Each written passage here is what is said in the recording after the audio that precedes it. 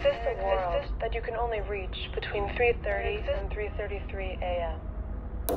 Before you travel, I must advise you of a few rules. Rule number one.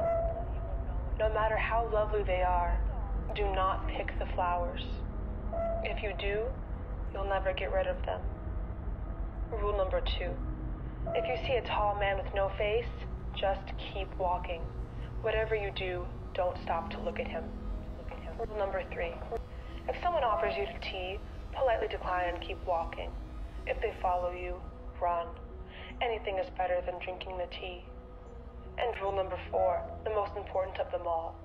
Wear a watch at all times.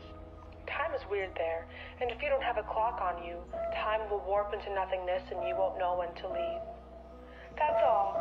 Safe travel.